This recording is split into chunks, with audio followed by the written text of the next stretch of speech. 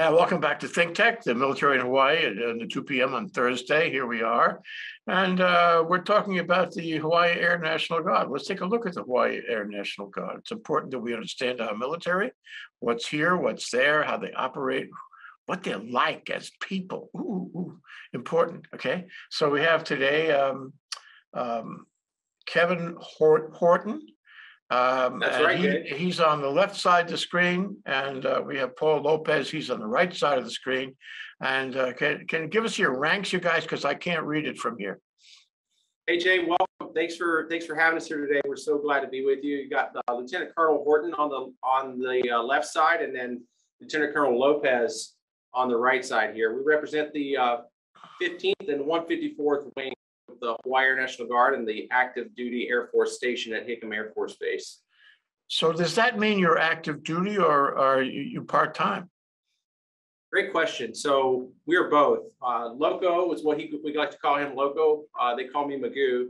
Uh, we are, we're, he is active duty and I am a guardsman stationed here in Hawaii. So uh, we work together as a total force team. That's what we call TFI. Uh, so we really kind of leverage the strengths of both of the organizations to provide air power to the United States Air Force wherever they need us, anytime, any place. Okay, um, gee, I'm so curious. Uh, you're you're in flight suits, it looks like. And that means you're ready to you're ready to stand up and you might stand up right in the middle of the show and and dash off for a flight. Am I right? You're ready to go, aren't you? We're ready to go. If you, if the screen goes blank, you'll know what happened. We got called to duty and uh, we'll be back with you when we can. Okay, so what what uh, what aircraft are you qualified on? Big ones, little ones, medium sized ones? Red logo. Yep, so here at Joint Base Pearl Harbor Hickam, and then primarily at Hickam Air Force Base, we have F-22 Raptors fighter jets. We also have KC-135 uh, tankers that we do air refueling with. We also have C-17 Globemasters that help us get that global reach for logistics across the world. And we also have uh, C-37s for DV airlift as well. Are you qualified on all of those? That'd be something, wouldn't it? I think that'd be awesome. I think that the concept of flight to where if you're whatever you're flying, if you pull back, the airplane goes up. You if you push forward, the airplane goes down. You move your left hand forward, the plane goes faster. Pull it back, it goes slower. So I think I think we probably could fly all the airplanes, but both of us are current and qualified in the F-22 Raptor. Oh, the Raptor, wow, that, you know, wow. A Couple of thoughts about that, you know, I knew, I knew a fellow who was a pilot, the Air National Guard, and uh, he said those things go straight up, like ninety degrees, straight up into the sky, straight up vertical. Is that true? Uh, we can absolutely do that. Uh, we generally hold about 60 degrees, no high on takeoff at the maximum, but it's an amazing airplane. Loco was the demonstration pilot for the F, uh, for the F-22 for the United States Air Force. So uh, he had the uh, honor and privilege of being able to fly across the nation in air shows. So he's one of the most capable uh, pilots in this in this airplane. He can that type of stuff. You know, my- pardon me, but I do have a lot of questions for you, Paul. Um, uh, or is it Lopo, Lopo? Loco, Loco. Lo- Loco, I was trying to be nice. So. Uh, what's it like to fly in an air show? You have to be very precise and, and, uh, you know, you have to have a good night's sleep beforehand and be very totally alert, right? Uh, yes, sir. That's right, Jay. And I tell you what, um, it is just pure exhilaration. Um, the cool thing is that you find that you're embedded with a team of phenomenal airmen from our total force service, from Air National Guard airmen to reservists to active duty airmen that come together to showcase American air power. One of the cool things about being on a demonstration team is that you get a chance to share not only your own story, but also the story of other airmen, you know, like Lieutenant Colonel Horton or from our PA airmen, from our security forces defenders, and more importantly, for the maintainers who truly have a near and dear place to any operator's heart because without them, we wouldn't have airplanes to fly. You bet. Ooh.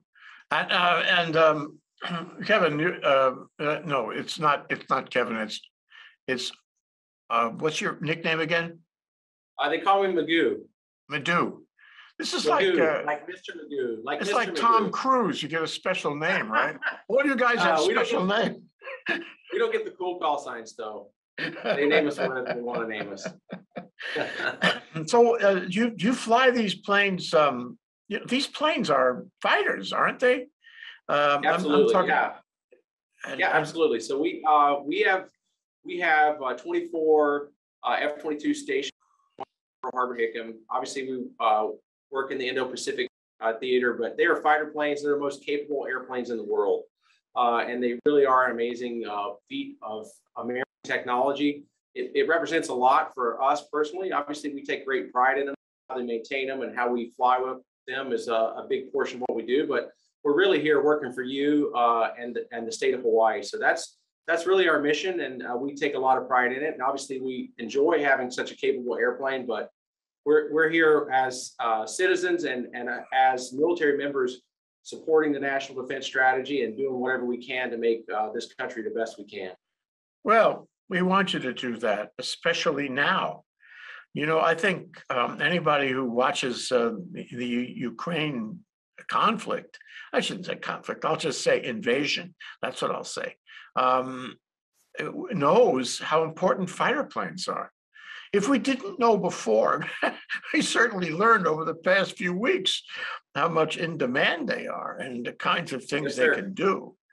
And um, the kinds of things they can do to stop the other guy. So I think, I think the world has taken note over the last, only the last few weeks about the importance and the high-tech qualities and the systems on fire, fighter plane. So you said uh, th- that the Raptor is the best uh, fighter in the world. Is it better than the Russian fighters? Oh, absolutely. I mean, we, we definitely take a lot of pride in our jet being the best. Just to highlight on that last point that you made, it, I think sometimes we forget that American air superiority is uh, something we've earned. So the last time that any troops took um, uh, any type of attack from the air in the United States Air Force is April fifteenth, nineteen fifty-three. So as fighter pilots, that's something that we take very, very uh, seriously. And air superiority is crucial type of campaign that we have and is certainly one of the strengths of the United States Air Force. And our pilots are uh, very well equipped, we're very well trained, and we certainly are looking, uh, um, we are ready to do whatever tasking that we're asked by the United States Air Force and, and the Indo-Pacific uh, region. Well, who knows what will happen? You know, I Hopefully mean, nothing, but we're ready. Yeah, well, but you know, but there's all these threats coming from Russia and, and, uh, and of course, the administration doesn't want to get into a shooting war, but, but the reality is that remains a possibility. So you could wake up in the morning one morning and, and get a special call. And, um, you might have to go east fast. Sure. you know. The, the fifteenth and the one fifty-fourth wing is ready for our nation's call whenever that may come. And hopefully, obviously, we don't want that to happen, but we're ready whenever, uh, whenever we're needed.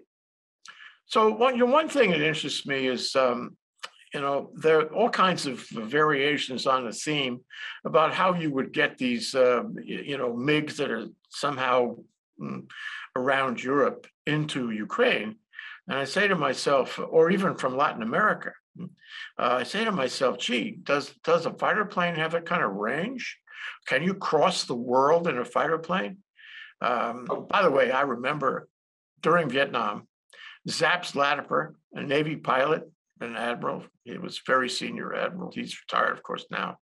Um, we asked him, um, I think it was on, yeah, it was on July 4th. We were celebrating July 4th, and we said, What's the most extraordinary experience you ever had as a fighter plane pilot? And he said, Well, they told me to ferry a fighter plane from the East Coast of Vietnam. And I did. I guess he had to stop on the West Coast or somewhere because I didn't think the range was that, that far.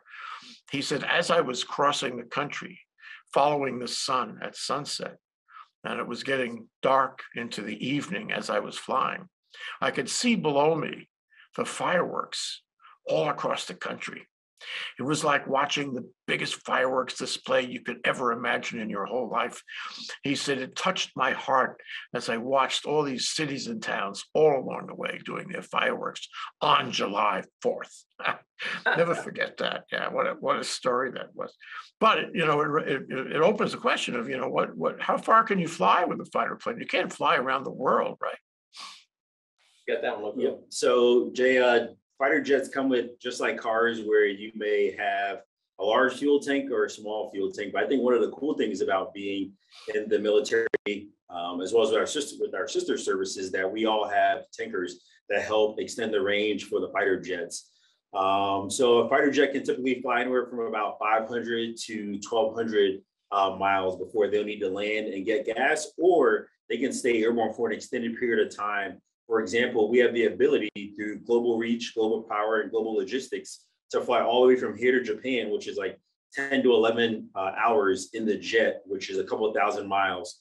So that's just part of the capability that we're able to bring to the fight. Oh, that's really, that's important. So that if you, if you had to go to a distant theater, you could go without too much trouble. You Might have to land somewhere for fuel. Um, are these, are Yes, these, sir. sorry, say? Oh, we actually have the uh, tanker squadron that's located here at Joint Base Pearl Harbor, Hickam. They can provide air-air capability, so we refuel airborne uh, and can go unlimited amount of range based on their ability to to refuel us. So what's it like flying a fighter plane? It must be one of the most thrilling experiences in the world. You probably say every second to yourself, you say, what a blessing that I, I'm a human being who can do this. I'm, I'm one in a hundred thousand that can actually do this thing. It must be a real thrill, eh? I'll let Loco cover that one, but I'll tell you that we are very blessed. Go with it. Yeah, I would say it's just a humbling opportunity. You know, it's definitely a privilege and an honor to put on this uniform. I like to refer to it as like putting on our superhero outfit and turning into Superman or Superwoman because we have men and women from various and diverse backgrounds that um, are privileged to serve our country and to be a part of the team and to fulfill our role of flying these high performance multi-million dollar airplanes and train that way we're ready, as uh, Magoo talked about, being ready whenever our nation calls on us to execute the mission. But I mean, when you think about it, like we're able to fly faster than the speed of sound in flying fighter jets, you know, which means you're able to go faster than 10 miles a minute.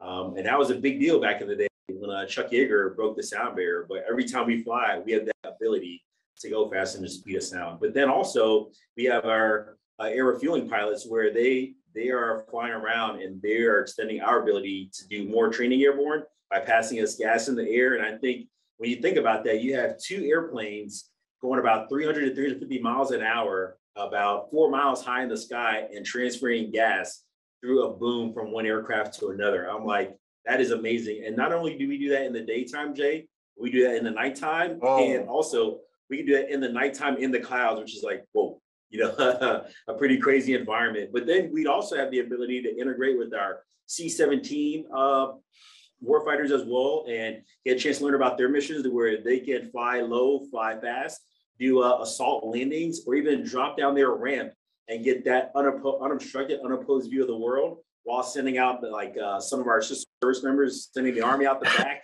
uh, sending tanks out the back during airdrops and doing things of that nature, or even getting a chance to see that uh, premier service in flight with our DV airlift team uh, with the 65th Airlift Squadron. So it's just amazing, not only flying the airplane, but realizing the team that we're a part of. You know, if you ever feel lonesome up there, would you give me a call? I'll come up and sit behind you, okay? Yes, sir. Might not be able to help, but I'll, I'll sure be enthusiastic, I'll tell you that. Uh, So how often do you have to train to stay current? How often do you have to train to be up on it and ready? Uh, our, our, our training program is robust and certainly our young pilots, they'll fly up to like fifteen times a month. Uh, just because it takes a lot of repetition. It's, it's like a professional sport in a lot of ways, as I describe it, is the preparation that it takes, the, uh, the teamwork, and then also the uh, debrief. We'll, you know, we'll focus an hour brief and discuss it. They'll probably have studied a couple day, uh, day or so before. Uh, and then there's the brief given for an hour. And then you go execute the mission, and then when you come back, it may be eight to twelve hours of just focusing in on the on the minutia of that of that sortie to really get the most learning out of it. And the Air Force has a great technique uh, for being able to teach us, uh, and we have the, the longevity and the, the great instructors. We have the most instructors, pilots in the uh, in any F twenty two squadron uh, between the 19th and the 199th Fighter Squadron here on uh, the Joint Base. So we really have a, a great ability, and it really just depends on your on your on how old you are, how young you are and. Get to fly as much as we're mostly talking to people like you and and taking care of our airmen, but uh, overall, we uh, we fly 15 times a month for the young for the young pilots. How about your eyes? You know, if I was up there, you Yeah. know, in the cockpit behind you, um, I, I, I don't think I could see very well because I'm, Yeah. I'm old- I'm old. Yeah. But what happens when a pilot can't see as well as he used to see? We don't talk about sensitive subjects like that, especially as you get to be. We keep that, we keep that stuff far away from us. You know, you could show up on the tarmac one day with, with some, some glasses on and see what the commander says. Yeah, that would be terrible. You know, what's in- you know, what's interesting, Jay, is that I think that's a testament to American air power and innovation and ingenuity because these aircraft that we fly are very sophisticated with modern technology and we have radars in the front of the fighter jet. So we have the ability to see other aircraft at a beyond visual range as well. One misconception is that you have to have 20/20 eyesight to be, if you have any interest in flying, to be in the military, but you don't. Um, as long as your vision is correctable to 20/20, whether, because we have pilots who fly wearing glasses and pilots who fly wearing contact lenses. So uh, for any, uh, any young people out there, young and old, they, uh, a desire to want to be a part of the world's greatest Air Force, you know, we're looking for some, uh, some members to join our team. I think we're What- getting. what do that I- resume. Get a reservation from Jay. Yeah, no, I'm, I'm ready, I'm ready. I'll go everywhere, everywhere, anywhere that the Air Force wants me to go. But um, just like you, but uh, but let me ask, I mean, uh, um, what- you know, what are the general physical specs uh, that the Air Force is going to require of a fighter pilot? It's not everybody qualifies. Uh, what what you know, is it better if I'm a big athlete? Is it better if I'm strong as an ox? Is it, you know, what what do I need to be and do and study if I want to get the job? Great, great question. So really, the main thing that is uh, not a physical attribute is really your heart and your willingness to put in the effort. Because, like I mentioned before, it is a professional sport in a lot of ways, and it takes a, a commitment. There's a lot of cool things that we get to do, but it there's a lot that goes on behind the scenes that's just you know plain hard to do and a lot of work. And you have to be self motivated. You have to be disciplined. And certainly, the Air Force has a good way to get you there, but you have to have the desire an urge to get better every day. And not everyone's cut out for that to be able to say, hey, I could do better. Here's something I can improve on. And that's really the, the goodness of what the Air Force brings because not only do we have that here, we have that in, across the United and across the country of just airmen who want to be the best at what they do. Physically, uh, there's a lot of variance that is acceptable, and they have a process in the beginning when you get when you put your application in to see if you're qualified you know, uh, and and most people are, to be honest. It's not as uh, rigorous as one might think, but the training is very rigorous, and uh, and you really have to have a heart for it, uh, and a desire to serve your country, and a desire to kind of sacrifice. And and certainly, uh, it's it's not without sacrifice. And our families are really the ones who, you know, I think about my family and what they give me and how much they support us. And it is an- a super important aspect of it to have that complete concept because if Ohanas and the families are not behind you, it's impossible to do our mission correctly. So hopefully that answered somewhat of your question, but it's pretty big, it's a pretty wide net overall. It does, but it also evokes a lot of other questions.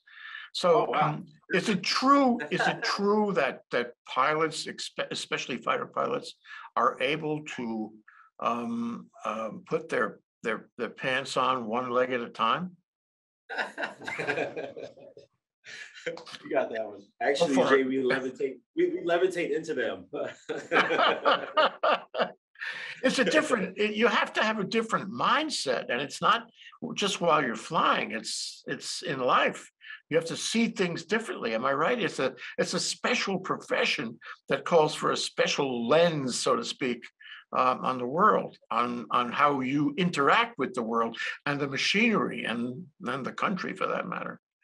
Is I, true. I would, I would definitely agree with that. It is a, uh, it is a calling in the beginning, and then the Air Force kind of trains you to be able to do that. And you really need to be able to compartmentalize. That's probably the one and most important thing that I would say. And it, it is really a good aspect of just in, in life. Uh, because there's a lot of bad in the world, there's a lot of good in the world, and really how you choose to focus on that good and bad change it changes your perspective. So we're taught early on when we fail to forget it quickly because the airplane is not stopping for you to get that right. You are on to the next the next problem. So we certainly fail a lot, but we get up quickly and then you're quickly to forget it and keep that confidence that hey, the next time you're going to do better and learn from that. And that corporate uh, culture of just the Air Force is a way that we improve and that way the tenacity that we bring to it is really the difference that makes us a, a, force to be reckoned with across the world. Uh, so I certainly do think it does change you. You certainly have to have a, a very unique uh, view of life, a lot of that the Air Force gives you, but ultimately the desire to serve and the love for this country is what's going to drive you to that spot. Yeah, sometimes we forget uh, how important patriotism is. I mean, I, you know, as you mentioned, I was in the service. I, I carry that every day of my life. I'm, I'm so completely, totally patriotic. I know you guys are too. So, uh, you know, the, the, the question also is if you're, if you're a pilot, not only in the Air Force, but in the Navy as well, um, that distinguishes you uh, for promotion. It distinguishes you for flag officer, um, doesn't it? I mean, I, you know, in the Coast Guard, if you were a pilot, you were golden. You, you were, you were on the way to heaven, literally. And, um, and so, um, you know, a lot of the flag officers were, well, a lot of them were ship drivers, of course, but a good number of them were pilots. It, it was a great career track. Is that, is that true in the Air Force too? Uh, no, Jay, I would say that uh, starting out in the Air Force, you know, it all starts with the core values of excellence in all we do. And that's what the Air Force ingrains in all of our uh, warfighters is that regardless of your job, do it to the best of your ability. And that's going to help make you competitive for promotion. Um, you know, one of the couple of sayings in the Air Force, one of them being that our mission is to fly, fight, and win in airspace and cyberspace. So it's all about how well are you executing the mission by doing your job how well are you being a team player by leading the end? how well are you managing resources and are you improving the unit that you're a part of as well um, i think that sometimes when people think about the air force they think that all we do is fly and you know one of those visual symbols is the flight suit but nowadays you have pilots that are wearing the ocp uniform or um, uh, trying to think what the OCP stands for, like operational camouflage pattern, a uniform to fly as well. So Yeah. now it's, it's kind of changing that mental model and it's no longer, there- there's nothing that gives you, that makes a pilot better than anybody else. We're all here because we want to be a part of the greatest team or serve the greatest Air Force. So everybody's important from the security forces defenders, the defending the gate to the men and women that are cooking food in the dining facility because if your crew chief has a bad meal, they're going to be on the flight line and you- they're they and you know you want them to be happy when they're servicing your airplane you want your pilots to be happy to have a good to have a great building to work out of that civil engineering may work in so everybody's important and the air force does a great job in highlighting um, that everybody contributes to the team that no member of the team is important than anybody else because the sum of us uh, as a team is greater than us as individuals Yeah, I think that's one of the things that's going to be on the final exam.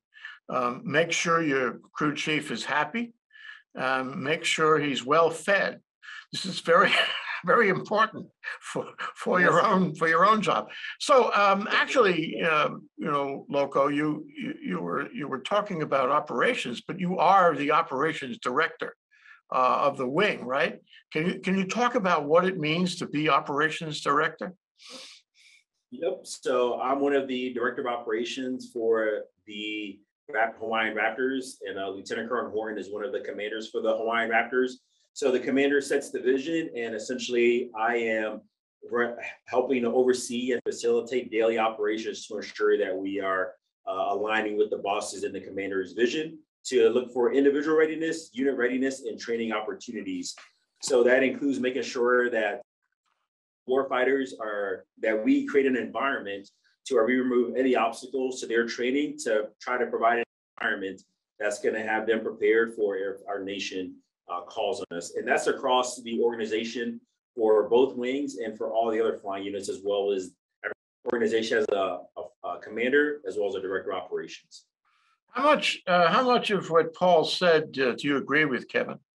above above what uh, he's executing our, our vision, and then I'm ex- I'm executing the wing commander's vision for the 15th and 154th wing, and they're working for the PACAF commander and then uh, Indo-Pacific uh, overall uh, commander, as well as the national defense strategy. That's really what makes this whole thing works. Is that we have a central vision, we have a mission, we have a plan, uh, and then everybody at each phase of this plan has to have their side of it and how they contribute to that. And ultimately, that's the, that is the, the vision that keeps us going. Without a vision, the people perish.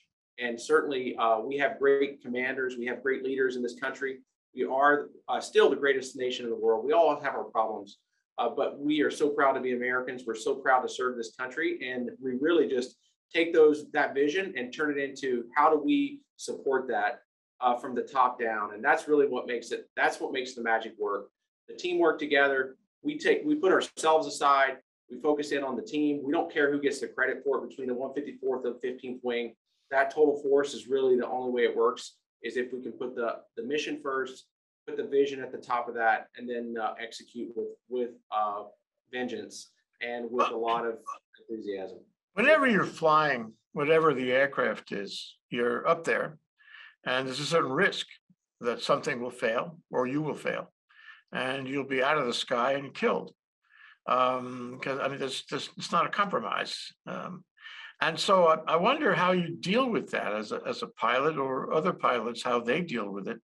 Um, you know, right now, for example, we see tremendous courage among the people, you know, in Ukraine, and they will tell you they're going to fight no matter what, and uh, it, it doesn't matter if they get killed.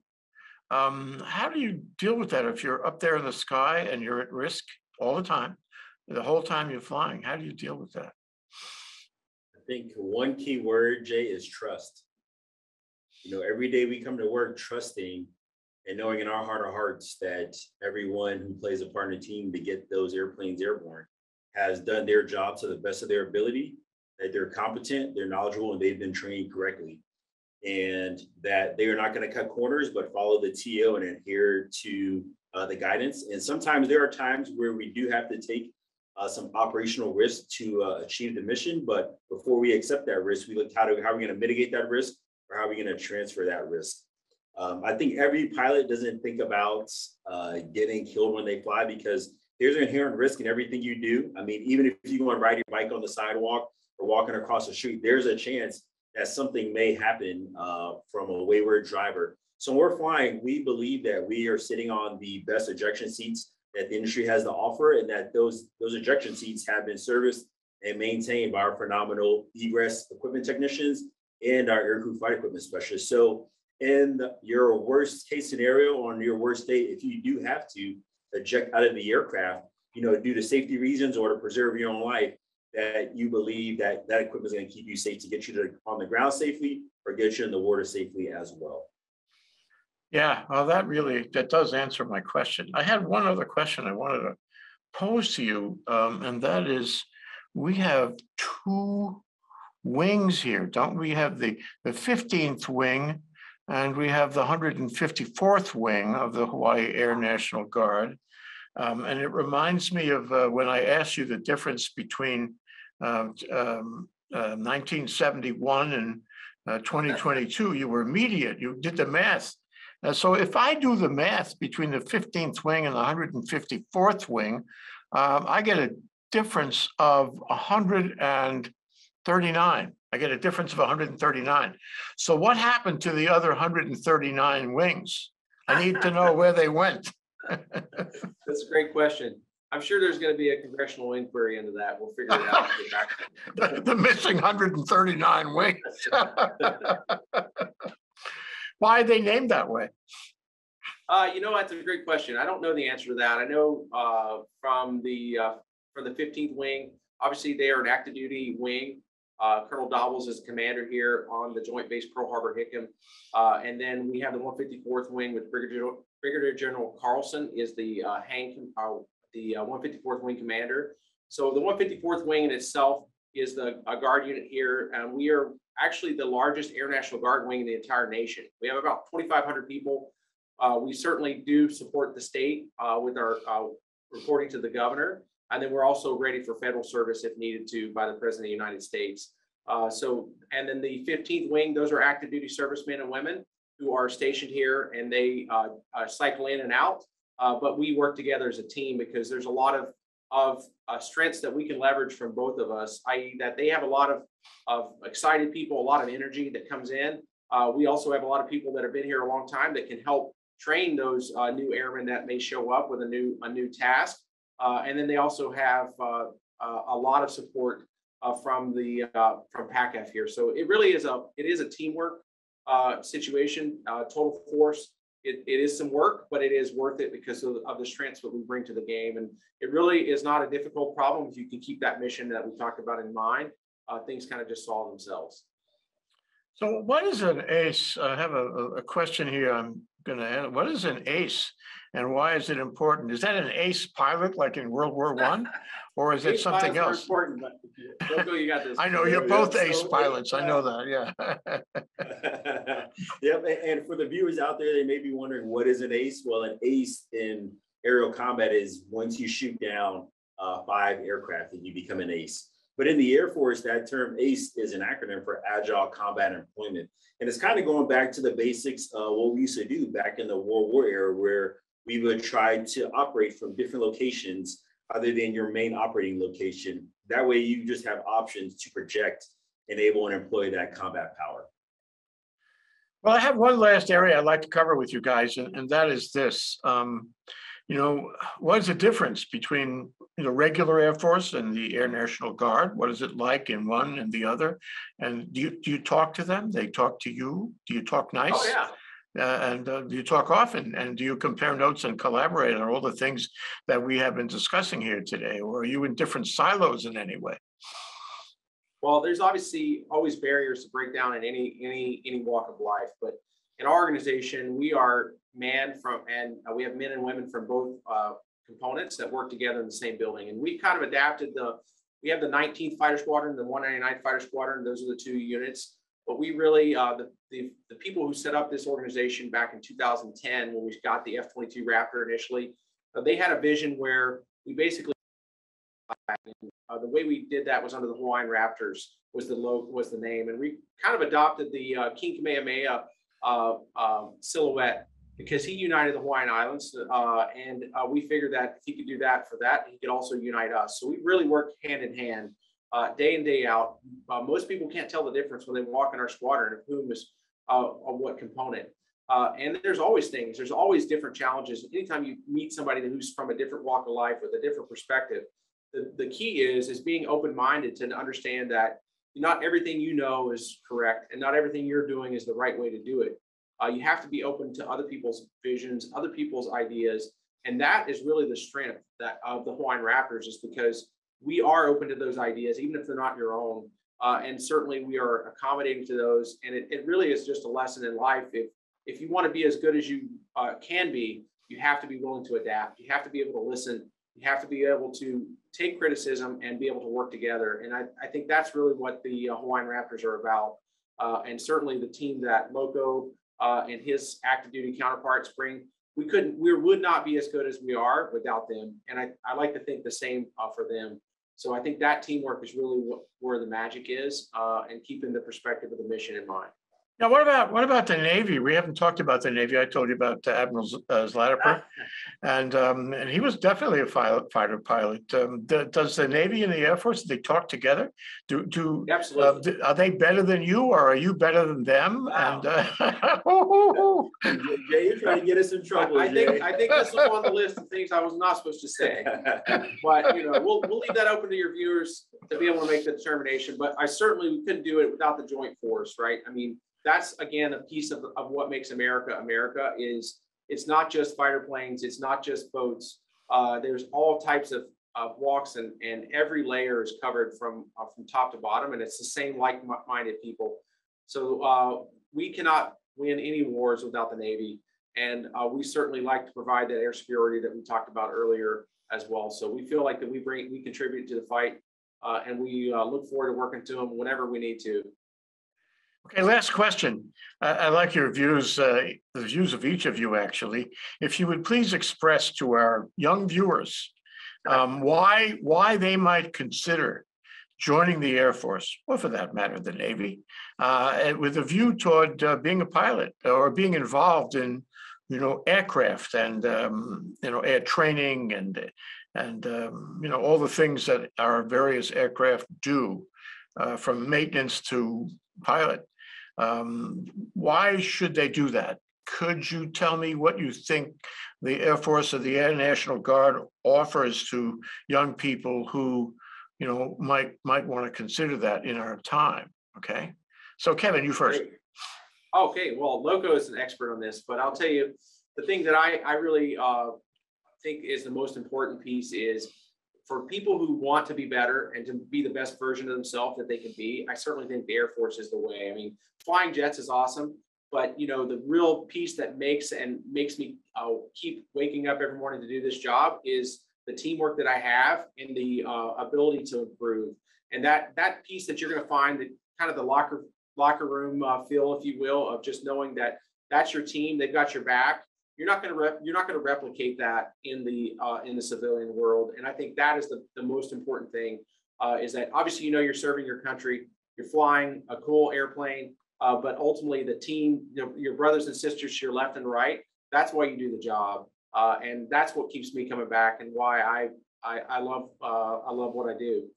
Uh, Loco's gonna have a much better answer because he's really good at this, but. Yeah, Loco, now you, uh, and you could also add what it means when you get out of the service and you've had a career of flying aircraft. What does that mean in the job market? Oh, great, great questions, Jay. And uh, just to add on to all the great things that Magoo said, but um, exposure, you know, you're, if you are looking for a challenge in life, if you're looking for an opportunity to be the best version of yourself, and just to be a part of something that is better than yourself, I say come on and join the team. Regardless of what, what you think you know you want to do, just come and join the team um, because you'll be exposed to different people, different missions, various walks of life. You come as friends, but you're going to leave, you're going to be part of the Ohana and leave as family members, and you're going to make lifelong relationships. The Air Force really prides itself on education. So I think as long as you have the propensity to serve and you have any type of desire to just want to be a better version of yourself and get better 1% every day, then come on in because the Air Force will definitely challenge you and help you get you to where you need to be and also where you want to be, as well as there are moving opportunities. So if you just want to see the world, and you may not have the resources to do that on your own, but you want to join a team, well, come on in the Air Force because we'll figure out what your talents are and find a job for you that's going to help us optimize your capability to help us accomplish the mission while moving you every couple of years to different locations uh, to increase your depth and breadth and uh, making you that much more better of a warfighter.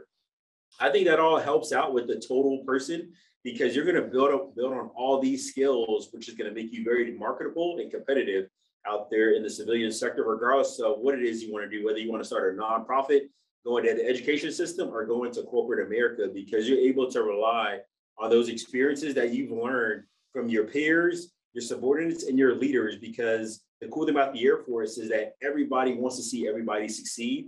And we just want to posture you for greatness whenever it is time for you to transition and take off. Like I said, like I started out before, take off the superhero outfit. Yeah, I- you've alluded to this and I want to, I want to make my statement now, okay? Um, you know, since the draft uh, was terminated, and I was there when it was terminated in the seventies. Um, you know, we haven't really had national service. And the Peace Corps hasn't been, you know, a robust replacement for it. And um, people go through their whole lives and the only contact they have with the federal government is they pay taxes.